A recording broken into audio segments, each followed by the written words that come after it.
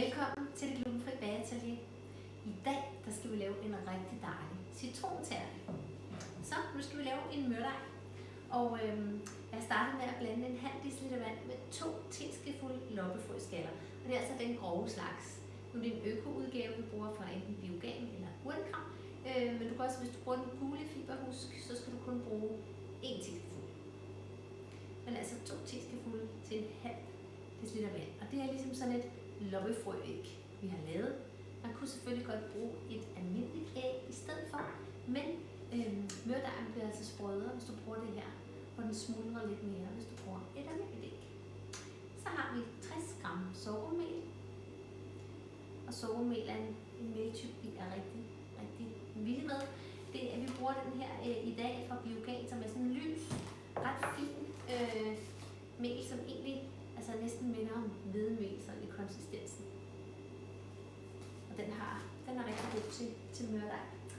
Så har vi øh, 40 gram hirsemel, og hirsemel den har en rigtig dejlig fin smag, og den giver også lidt farve til, øh, til mørdej. Man kunne også bruge øh, majsmel i stedet for for eksempel. Og i stedet for sorghum, så kunne man bruge rismel. Så det er altså altid leg med melen. Man kan næsten altid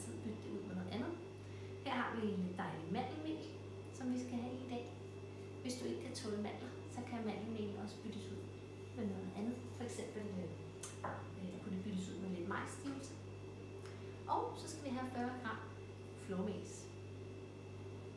Så det kunne også byttes ud med 40 gram kokossukker, hvis man vil have en lidt sukker reduceret til.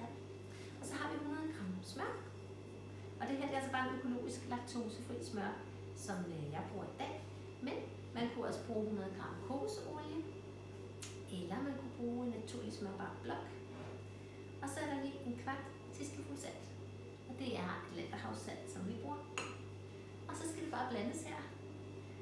Og kan også gøre det på en rørmaskine, men nogle gange så er det altså lidt hyggeligt lige at få fingrene i dejen. Og, og blande det. Så smøret har lige stået ude lidt, så det ikke er helt hårdt. Hvis det nu var helt hårdt, så ville det været smart at lige at bruge rørmaskinen, fordi den kan røre smøret, selvom det er hårdt. Men her, der varmer hænderne det også lidt op, så man blander det. Normalvis ved mørdej, så skal man jo passe på ikke at blande for meget. Og sådan er det heldigvis ikke, når det kommer til glutenfri mørdej. Fordi det der er med, hvis du laver en på hvedemel, det er, at man ikke må aktivere gluten i melet alt for meget. Derfor må man ikke røre det så meget, det skal blandes lidt hurtigt, øh, fordi at den skal være sprød. Men glutenfri meltyper er jo ret korte i det og indeholder ikke gluten. Så her behøver man altså ikke at være bange for at blande for meget. Men det er selvfølgelig nemmest, hvis dejen er øh, kold, og rulle den ud, hvis man ruller. Og hvis man skal rulle den ud, så skal man rulle den ud med to stykker husholdningsfilm eller to stykker bagepapir. Øh, og så vil man skulle lægge den på køl nu, når man har blandet den, og lægge den på køl en times tid eller to og have den køleskabet. Men altså, mig og Katrine, vi er lidt til de nemme løsninger, så det der med at stå og rulle det fint ud og sådan noget, det gider vi ikke. Så vi gør noget andet, lidt nemmere.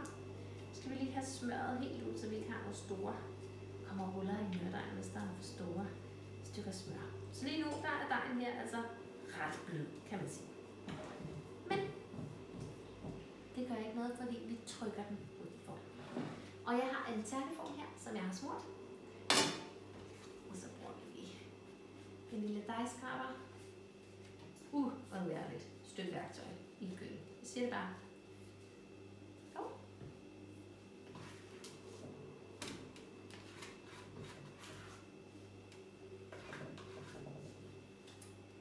Det, vi gør det på den nemme måde. Vi presser bare lige dejen ud i formen. Og der kan man bare lige bruge, tag lige lidt mel på fingrene her, hvis det klister for meget. Og så er det bare om det presse den ud. Og så har vi fundet ud af, at det er rigtig smart lige at putte dejen med formen ind i fryseren, og lige lade den stå derinde lige så 20 minutter, en halv time eller sådan noget, til den er helt kold. Fordi dejen bliver lidt mere lækker, når den bliver bagt, hvis den har været kold, når den bliver bagt. Sådan er det altså med glutenfri mørdej. Så faktisk det smarte, det er jo, at man kan have, for eksempel kunne du bare have en tærtebund stående inde i fryseren til uventede gæster, eller til en dag, du lige blev lækker sulten, og så kunne man lige fylde den med bær, eller æbler, eller hvad man nu ville. Og det er jo ret smart. Man kan også bage det med det samme, hvis det skal gå hurtigt, men det bliver altså lige lidt bedre af, end at være, være lidt koldt. Og det er altså ikke meget mel, jeg bruger. Det er bare lige sådan, det klinger fast. Og så skal man bare have lidt let hånd. Sådan. Ikke nuse alt for meget med det. Men tage en let hånd på.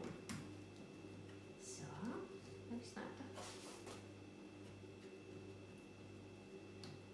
Og øh, så øh, når dejen er kold, så forbager vi den lige 10 minutter. Tager den ud, køler den af, og så, øh, så rører vi simpelthen en citron, ikke creme, citroncreme, som skal i, som vi så putter i og bager. Det bliver altså en super lækker, frisk tærte.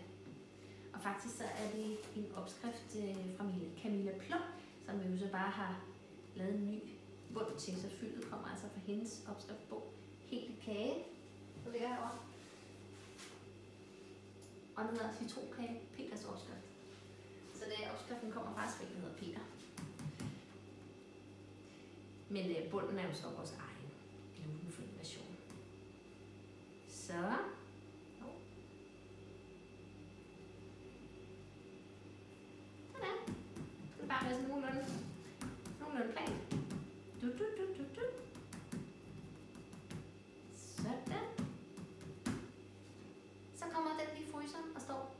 en halv time tid, og så bager jeg den.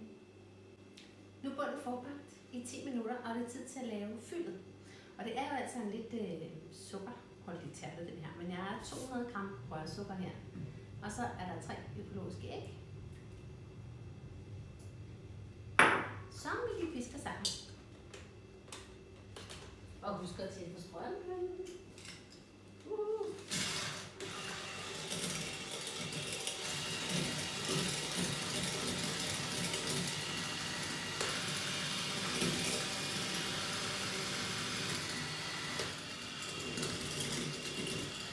Så, så har vi øh, skallen af tre revne citroner. Det kunne også være to, hvis det er to store, men nu var mine sådan ikke så kæmpe. Det var sådan mellemstørrelse citron. Og så har vi 0,75 dl citronsaft. En teskefuld vaniljesukker, fordi jeg elsker vanilje. Og 20 gram sovemel, som jeg altså lige kommer i, mens jeg pisker, så der ikke kommer klumper.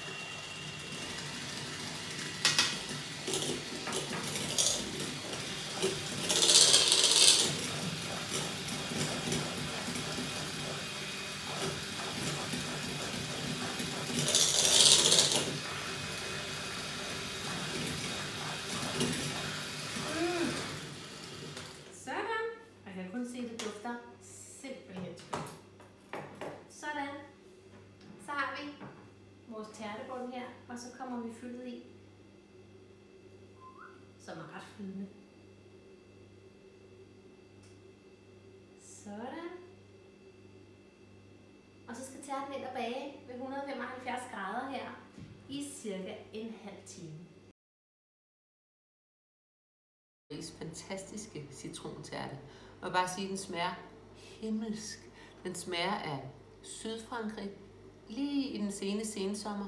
Den smager af lykke, men den smager mest en del af Mette Maries fortræffelige evne til at lave gamle klassiske opskrifter om til glutenfri magi.